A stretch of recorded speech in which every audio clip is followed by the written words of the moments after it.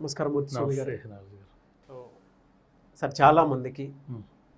ఆ, ఆర్థిక సమస్యలు అయితే ఎక్కువగానే ఉంటాయి అవునండి మీరు కూడా బాగా అనుభవం కలిగినటువంటి వ్యక్తులను చూసుంటారు. ఆర్థిక సమస్యలతో ఇబ్బంది పడే వాళ్ళని చాలా మందిని చూసుంటారు. మీ టెంపుల్స్కి వచ్చే వాళ్ళు ప్రత్యేకించి అవునండి వాళ్ళకి ఎటువంటి పరిహారాలు. మీరు ఇచ్చేవారు మా ఆలయాల్లో చాలామంది వస్తుంటారండి ఆర్థిక బాధలకి వాళ్ళకి మేము ఇచ్చే రెమ్డీసిమిర్ అంటే ఇక్కడ చాలామందికి జరిగింది కూడా. ఎలా అంటే మా ఆశ్రమంలో ఒక చెట్టు ఉందండి. చెట్టు ఉంది. అదేం చేస్తారంటే ఒక టెంకాయని తీసుకొని ఒక ఎర్ర గుడ్డలో చుట్టి మీ సంకల్పానికి కట్టండి మీ కోరికలు నెరవేరిన తర్వాత అంటే ఏదో వస్తారు ఉద్యో- ఉద్యోగం కావాలో ఒక ఇల్లు కొనాలో ఏదో ఒక సంకల్పం ఆర్థిక బాధలు కూడా దాంట్లో వర్తిస్తాయండి. కోరికల్లో వస్తాయి ఇది కూడా. అలా వాళ్ళు గుడ్డలో ఎర్రగుడ్డలో టెంకాయ చుట్టి రెండు టెంకాయలకు కడతారండి. ఎందుకంటే ఒకటి దేవత ఆర- సమర్పణ కోసం ఒకటి వాళ్ళు తీసుకువెళ్ళే దానికోసం ఇది ఒక ఆనవాయి చేసాం మేము ఆల్రెడీ. అలా గుడ్డలో చుట్టేసి అమ్మను మొక్కుకొని ఆడ వెళ్ళి ఒక చెట్టు ఇంకొక స్థానం ఉందండి. ఆడ కడతారండి.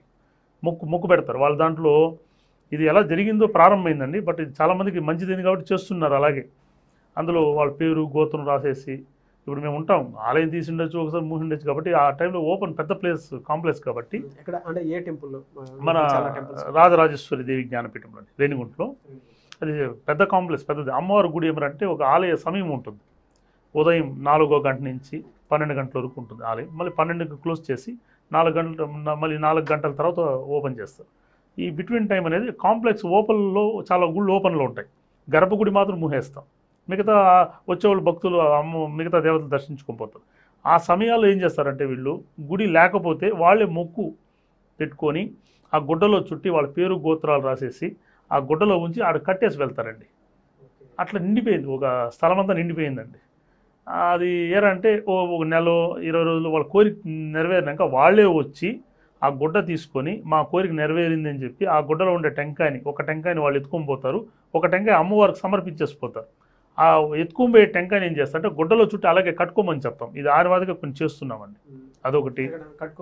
అంటే అంటే? ఇంటికి ఇంటి ఇంటి- గుమ్మం. ముందర కానీ ఇంటి లోపల కానీ అంటే ఒక పసుపు ఎరుపు అనేది నెగిటివ్స్ అండి. అంటే ఎరుపు అనేది మన చాలా నెగిటివ్స్ తొలగిస్తాయి. అందులో ఎర్రగుడ్డ అది ఎర్రగుడ్డ కూడా అమ్మవారి ప్రీతికరమైన రంగు అండి. అందులో అట పసుపు ఎరుపుతో సంబంధించిన గుడ్డలో ఇస్తాం. అది వాళ్ళు దృష్టిగా కట్టుకుంటారు. ఇంట్లో ఆ టెంకాయ అమ్మవారు ముక్కు పెట్టింది మాకు జరిగింది అని చెప్పి అలా ఇంట్లో దాచుకుంటారండి. ఇది ఒక ఆనవాయితీగా పోతాయి. ఇంకొకటి కూడా ఉందండి. ఇప్పుడు ఇలా ఆలయానికి రాని వాళ్ళు ఏం ఏం చేయమంటారు రారు. అప్పుడు నేనేం చెప్తున్నానంటే ఒక చిన్న ఎర్ర గుడ్డలో మన దగ్గర వచ్చిన డబ్బు ఎంతో తీసుకోండి. ఒక నూరు రూపాయలు వెయ్యి రూపాయలు ఎంతో సమ్ ఐదు వందలు తీసుకొని దాంట్లో ఒక రూపాయి కాయిన్స్ ఒక తొమ్మిది పెట్టేసి ఆ ఎర్ర గుడ్డలో చుట్టాలన్నమాట. చుట్టూ ఆ చుట్టేటప్పుడు సంకల్పించుకోండి. ఏ విధంగా సార్? ఏ విధంగా సంకల్పించుకోవాలి? అమ్మ నాకు ఈరోజు నాకు ఆర్థిక బాధలు ఇబ్బందిగా ఉంది తల్లి. నేను ఈ ఆర్థిక బాధలు బయటపడాలి నా సమస్యలు తీరాలని చెప్పి మొక్కుంటూ ఒక తొమ్మిది ముడి దారంతో చుట్టి ఉప్పు అనేది రాళ్ళు ఉప్పు తీసుకోవాలండి. ఓకే. ఒక ప్రమిదిలో పెట్టి అందులో కానీ ఉంచితే సాక్షాత్ లక్ష్మీ అంశం నిలుస్తుందండి. ఎందుకు ఎందుకంటున్నామంటే ఉప్పు అనేది నెగిటివ్స్ తీస్తుందండి. నెగిటివ్స్ పోతాయి. లక్ష్మి అనుకూలత అది అందువల్ల చాలామంది మేము చాలా ఇంట్లో చూస్తాం. మీరు తమిళనాడులో చూడండి. చాలామంది దాని ఆనవాయి మా పాటిస్తున్నారు. మాకు తమిళనాడు కూడా కొంచెం ఉన్నారు కదా వాళ్ళంతా ఇది ఎక్కువ పాటిస్తున్నారు. మా మా సంబంధించిన ఆలయ ఆశ్రమం సంబంధించిన అందరూ ఇది పాటిస్తున్నారండి. ఇదంటే శుభ శుభప్రదం. ఓకే. అదే కాకుండా ప్లేస్లో పెట్టాలి సార్? దేవుడి రూములో పెడితే మంచిదండి. అదేవిధంగా అక్కడ లేని చోటు దేవుడి గది లేని చోటు మన బీరువా కానీ డబ్బు పెట్టే చోటు కానీ ఒక ప్రమిదిలో పెట్టాలండి. మట్టి ప్రమిదలను పెట్టాలి.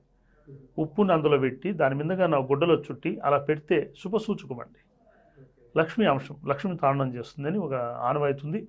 అది చేసే చాలామంది కూడా మంచి జరిగిందండి. వీటితో పాటు ఇంట్లో అంటే ఉమ్, చాలా మంది మహిళలు అవునండి. అంటే ఈ ఈ పరిహారం వరకు ఓకే అండి. అంటే ఈ విధంగా. అవునండి. ఇంకేమైనా చెప్తారా ఇంట్లో మహిళలకి?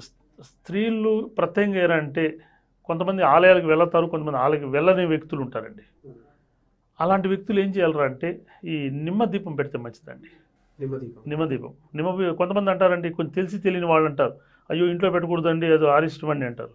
అంటే ఇల్లు లేదు నేను అడవిలో ఉంటాను. నేను అడవిలో ఉంటాను గుడికి? గుడి దగ్గరలో లేదండి. అప్పుడు ఇల్లే నా గురు గుడి కదా.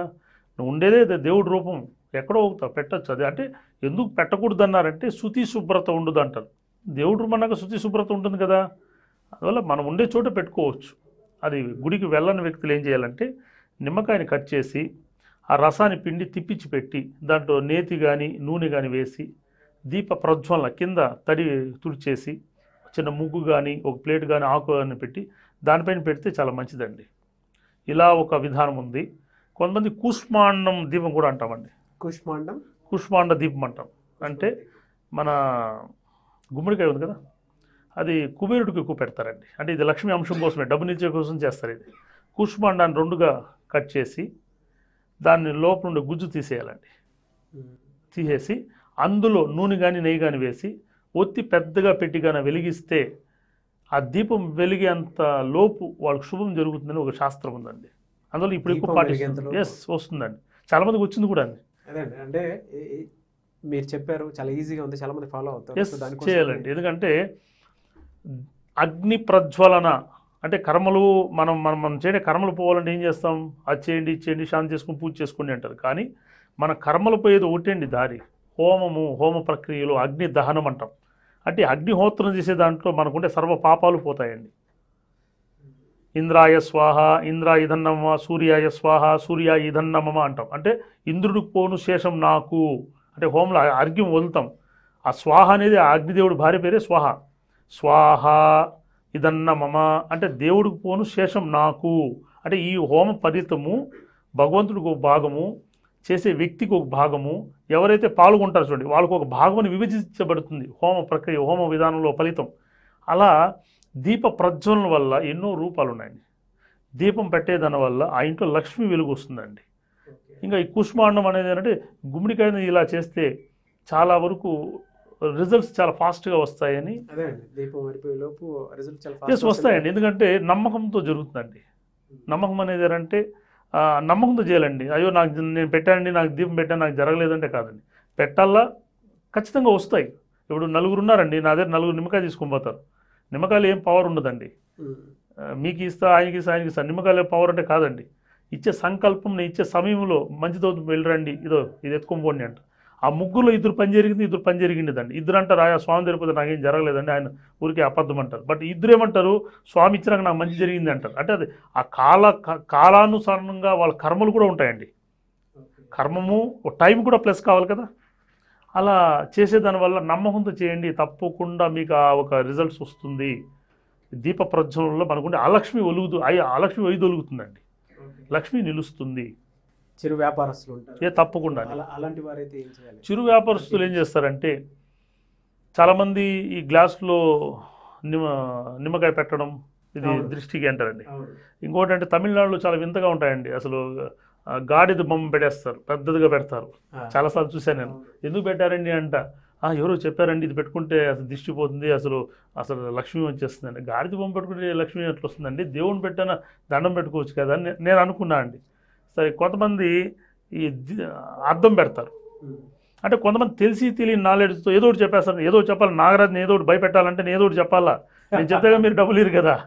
అలా మీరు తీసేయండి ఇది పెట్టేయండి అనేస్తారు. కానీ తప్పండి. తెలిస్తేనే చెప్పాలా? తెలియదు చెప్పకూడదు. శాస్త్రం అనేది ఒకటి ఉందండి. మన స- హైందవ ధర్మం ఒకటి ఉంది. మన ధర్మం ప్రకారం మనం పాటించాలి? ఇప్పుడు మారిషస్లో మా ప్రతి మా మా మారిషస్లో మేము ప్రతి వ్యక్తికి చేయిస్తున్నాం. ఇలా చేయండి ఇలా చేయండి. పంచ సంస్కారితం చేసి మేము ఏడు వందల మందికి మా నిత్యాగ్ని పూజ విధానాన్ని ఇచ్చాం. వాళ్ళు పాటిస్తున్నారు. మన హిందూ ధర్మాన్ని మనం విదేశస్తులే పాటించేటప్పుడు ఇప్పుడు బొట్టు పెట్టుకుంటే శాస్త్రం బొట్టు బాగాలేదని చెడిపేస్తారు. మన బొట్టు హిందూ ధర్మం. నేను హిందూ అని చెప్పుకుని గర్వపడాలి మనం. మన హిందూ ధర్మే విదేశాలు ఇప్పుడు వెళ్తుంది అన్నీ. అదేవిధంగా చిరు వ్యాపారస్తులకి వాళ్ళ అంగిళ్ళలో ఉంటారండి. ఉమ్. అంగిల్లో ఉండేటప్పుడు అంటే నేను చెప్పేది చిన్న చిన్న చిట్కాలు. వాళ్ళు ఎత్తుక్కోకుండా ఉండే చిట్కాలండి ఇది. ఎందుకంటే చెప్పాలంటే ఇంకా వ్యాపార పరంగా అయితే మీరు ఒక శ్రీచక్ర యంత్రాన్ని పెట్టుకోండి మీరు కుబేరుడు యంత్రం పెట్టుకోండి ఇవన్నీ చెప్పచ్చు. బట్ ఉండే స్థానంలో మీకుండే అందుబాటులో ఉండే వస్తువులు పెట్టుకునేదానికి మార్గం చెప్తా. లక్ష్మీప్రదమైంది ఏమరంటే మన ఇంట్లో ఉండే వస్తువుల్లో తీసుకుంటే మన అందుబాటులో ఏదైతే ఉందో దాన్ని చేయాలనుకునేది ఏమంటే రూపాయి బిళ్ళలు. చిరు వ్యాపారస్తులు అయితే నేను చెప్తాను చి- రూపాయి బిళ్ళల్ని అంటే కాయిన్సే కావాలి మనం డబ్బు పెట్టకుండా. దాన్ని ఒక ఎర్ర గుడ్డలో చిన్న ఎర్ర గుడ్డ కానీ పసుపు గుడ్డ కానీ తీసుకొనేసి అందులో అక్షంతులు పిడికిడి అక్షంతులు తీసుకొని అందులో పెట్టి ఈ రూపాయి బిళ్ళలు తొమ్మిది అంటే సంఖ్య మూడు నాలుగు ఎనిమిది తొమ్మిది ఒక సంఖ్యగా తీసుకొని తొమ్మిది కాయలుగా అందులో వేసి దాన్ని ముడి చుట్టి కట్టి దానికి పసుపు పెట్టి హారతి ఇచ్చి ముడి కట్టు అంటాం ముడి ముడి పెట్టడం అంటాం ముడి కట్టి ఎత్తి గల్లలో పెడితే లక్ష్మి నిలుస్తుందండి. చాలా మందికి మంచి రెమెడీ అవునండి. ఎందుకంటే ఎత్తుక్కోలేని పరిస్థితి కొంతమంది ఉంటారు. కొంతమంది మీరు అన్నట్టు చురు వ్యాపారస్తులు ఉంటారు. మీరు పోయి అది యంత్రం తెచ్చుకోండి అంటే అది వెళ్ళి తెచ్చుకోలేని పరిస్థితులు వ్యక్తులు కూడా ఉంటారు. అలాంటి వ్యక్తి చిన్న రెమెడీ ఉండే స్థానంలో దొరికేది అక్షంతులు ఇంట్లోనే ఉంటాయి రూపాయి బిళ్ళలు ఉంటాయి. ఇది గాన సంకల్పించుకుంటూ అలా ముడి కట్టి పెడితే లక్ష్మి నిలుస్తుంది. నేను చాలామంది చెప్పాను చాలామంది జరుగుతోంది నాకు ఫోన్లు వస్తున్నాయి. స్వామి మీరు చెప్పారు మా బాగుందండి. మాకు ఇప్పుడు చాలా హ్యాపీగా ఉన్నామండి. చెప్తున్నారు అలా.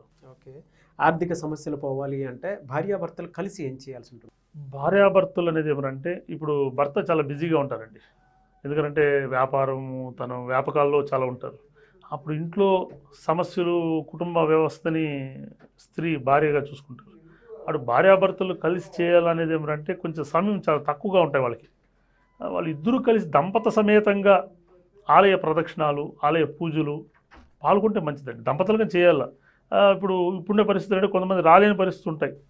అప్పుడు ఏం చేస్తారంటే వారంలో ఒక రోజైనా ఇంట్లో కూర్చుంటూ వాళ్ళిద్దరూ ప్రత్యేకంగా శ్రీచక్ర ఉపాసన శ్రీ మేరు పెడితే చాలా మంచిదండి. మేరు అనేది చిన్నగా శ్రీచక్ర రూపం అంటాం. ఆ మేరు ఉపాసన అమ్మవారు మీద కుంకుమ వేయడం కానీ లలిత చేయడం కానీ ఖడ్గమాల పూజ చేయడం కానీ ఇద్దరు దంప సమేతంగా చేస్తే వాళ్ళు కష్టాలు తీరుతాయి వాళ్ళకు ఒక అన్యోన్యత ఉంటుంది.